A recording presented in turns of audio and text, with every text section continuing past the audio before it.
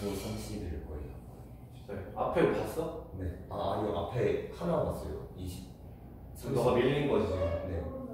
20. 오늘 30번까지 봐야 되는 게 원래 맞아. 네. 다음 일단 다음 시험은 30일, 33, 23년 9고.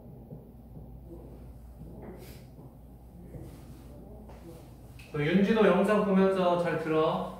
이번 주 일요일까지 우리 교과서 할 거니까 이 정도 문제 다 풀어와야 일요일 날 문제풀이 합니다.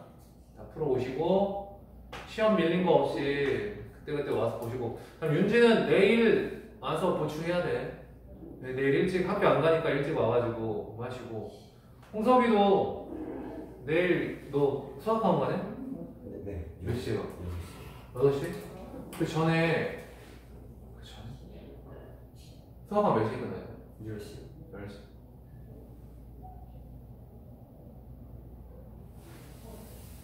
아... 수학학원에서 뭐하냐? 네.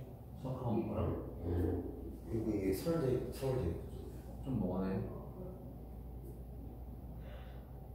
내일 나오기 애매하네 그럼 4시간 전에 6시 일요일 날 너 일요일날 영어학원밖에 없지?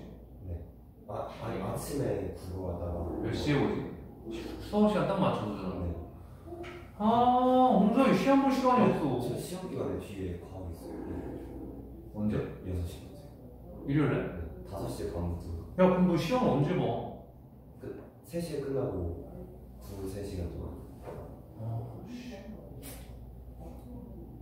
되겠다. 내일 와야겠다. 내일 4시까지 와. 4시까지 와서 한 1시간 반 정도라도 시험 하나라도 한두 개라도 통과하고 어, 너 씨, 그때 그리고 뭐야 재시험 한 번 안 왔던데 네. 아, 그때 왜 월요일에 새끼야 병원 갔다, 병원 갔는데 어. 그때 저